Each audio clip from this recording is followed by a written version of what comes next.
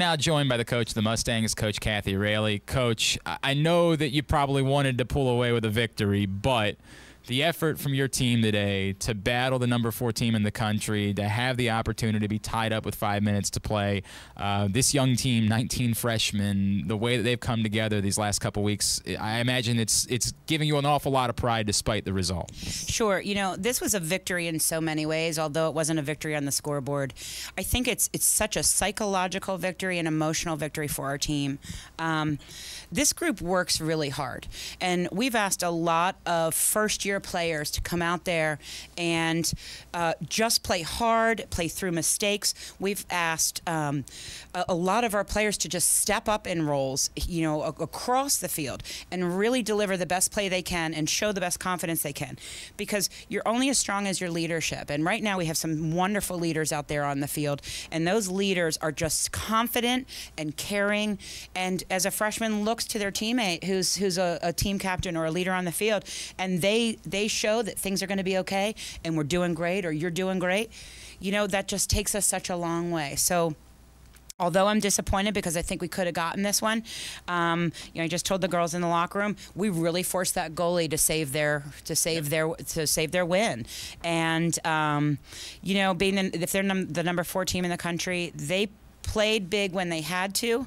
We're learning to do that and you know we had the cause turnover at the end mm-hmm. we had some shots at the end um, we did everything we needed to do to, to give them the best run I think. And a couple of calls on free position tries where it looked like somebody jumped early and they didn't. Yeah, you know what? I'll be the one to say it. I won't oh. get you in any trouble. Yeah, yeah I won't get you I, in I, any we, trouble. The, the, officials and I were going out after because we've had so many conversations on the field today. We're yeah. thinking about you know going for a beer in a little bit because wow. Uh, it was a uh, little wow yeah. sometimes today.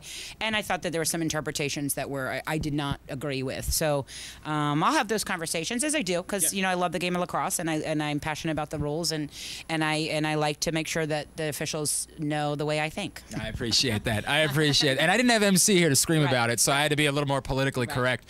All right, um, let's talk. You brought up two defensive players to chat with us. Not a surprise. The defensive effort. This was a team that was scoring basically 20 goals per game right. of late, and yet you allowed one in the first half, eight for the game. Uh, what else can you say about the defensive effort from this team? You know, I knew it yesterday. I knew we were going to be in great shape yesterday. We had a very cerebral practice yesterday where we worked hard for 10 or 15, you know, 10 or 15 seconds at a time at a group, and they were they were listening to what I was saying. They were going out there and executing, and it could not have shown more out there today than the on the defensive end that we had a game plan and we stuck with the game plan.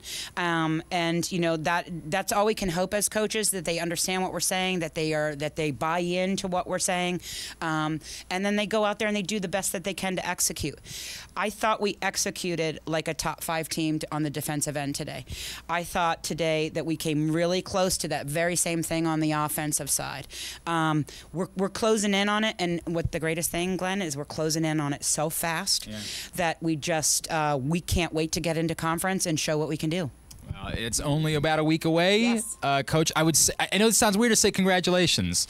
As we're going to let you go, we're going to talk to Mac and we're going to talk to Gabby, yeah. but congratulations on the effort. Congratulations on where your team has gone. And we didn't get a chance to say congratulations on win number 200. Oh, so congratulations on thank that. Thank you. I think it just means I'm old. That's all. But thank you. Stop. Thank you very much. Thank you, Coach. Appreciate it.